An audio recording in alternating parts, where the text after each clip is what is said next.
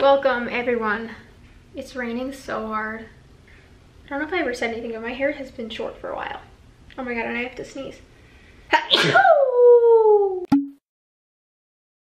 so I figured if I'm putting my life on the internet, I would like to be honest. I feel like why not not put it all out there, but you know, a big part of me and something that sometimes prevents me from being able to stay consistent um, is having a hard time dealing with my anxiety and depression. It's not something I've opened up about super directly. I've kind of indirectly made jokes or just kind of put little bouts of it here and there out, but never really had like a conversation about it. But recently, um, I've been feeling a lot worse than usual and I've been hitting this wall that I can't seem to get past right now.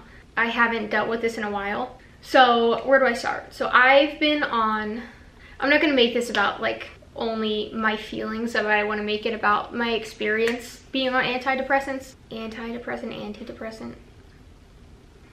Anti sounds better. I've been on medicine for three years now, I think. And I honestly, growing up, didn't even realize I needed to be on medicine I didn't want to be. I was scared of it. Um, one, I didn't think there was anything wrong with me. Two, I was scared once I realized, you know, something could be wrong that's taking something would make me feel worse. I was very fortunate the first go around trying to find a medication that would work for me. It did work. But now I'm at a point where it is not working for me anymore. And once again, this video is not a pity party. I feel like I shouldn't need to say that it's not. I just want to talk about my experience because um, I'm sure plenty of people going through this, especially if you clicked on this, are wondering how other people feel on antidepressants or what to expect. So that's really what I'm getting at, but also trying to be honest about where I'm at because I like to put parts of my life out there and it's hard to do when some of it's not known. So anyway, the first medicine I was on, I was on Lexapro. Actually, no, scratch that. I was on Buspar. I'm not gonna go into every single medication I take, but Buspar is more for anxiety. That did not work for me at all. Some people it works really, really well, and me personally, it didn't make me feel worse emotionally.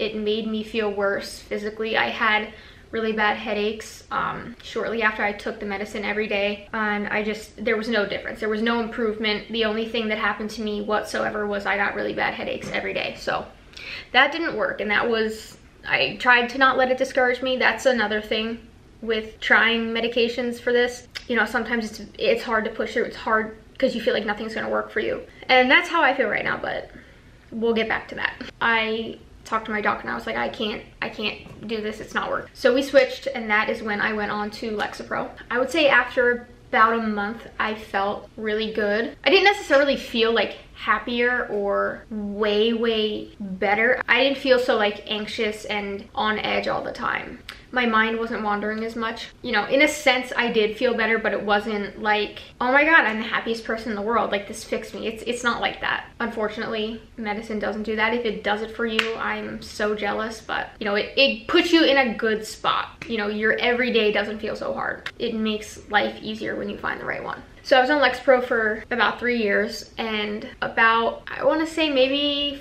four or five months ago, it stopped working for me. I started getting very irritated. Um, I was having trouble being in the silence, like sleeping, you know, just sitting with my own thoughts. My mind would wander. My depression and anxiety comes out a lot in anger. I deal with a lot of feelings of guilt. Sometimes it's not even over specific things. Most of the time it is, but you know, sometimes it's just, it's an overwhelming feeling. It just ruins your whole day and it's, it's hard to want to do things. Where I'm at right now, I'm at a point where I have a pretty good routine that I force myself to stick to. And when you're depressed, sometimes that is just not an option. You can't get out of bed. Luckily, I don't deal with that. I think, you know, there's been times that I did. Present day, I don't. I just, just have a lot of negative emotions. That's the best way to describe it. So we're trying a new medicine since my Lexapro stopped working. Unfortunately, what I was scared of happened with this one and this medicine made me feel a lot worse. I cry a lot. I am very irritable. I'm very frustrated and angry a lot. Not at anyone, not really at anything. I'm just at a point where my everyday life, like,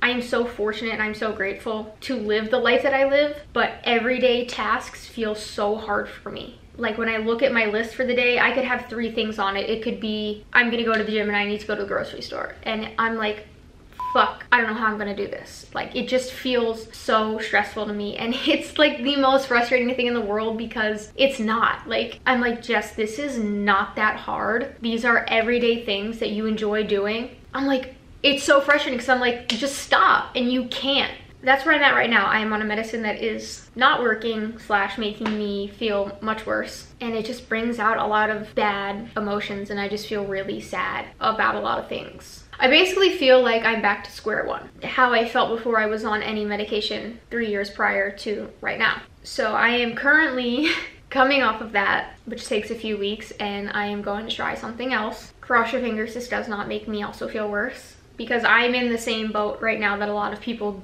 get thrown into where you're trying things, especially coming from something that did work, that your body just started to tolerate and you can't take it anymore because it's just not doing anything like it used to. So I'm in the boat of, is anything gonna work for me? It's super hard because you just wanna feel better. My experience on antidepressants has been very good up until now. If you're in the same boat as me, we're in it together. you know, it's not always as easy as a good diet, exercising, spending time with family and friends, like doing things that make you happy. That's not always the answer. That's like a very good formula, but it's missing something. And that's what happens to me. So, anyone that wanted to know my experience or the experience with Lexapro, it was scary, but it was worth it. And if it wasn't worth it, I would not still be trying to find something that's gonna work for me again. That was just my particular experience, and I'm still learning. If you are going through something similar to what I'm going through or went through it, please let me know how it went for you. And if you're currently going through it, we can do it. I hope. I don't feel like this is something I need to keep to myself. There's other people in the world that go through this and, you know, you guys could help me. Maybe this will help somebody else. Sometimes I just need somewhere to talk and let this live somewhere. Yeah, that was my experience. Thank you for listening. If you have made it this far, that's all I got.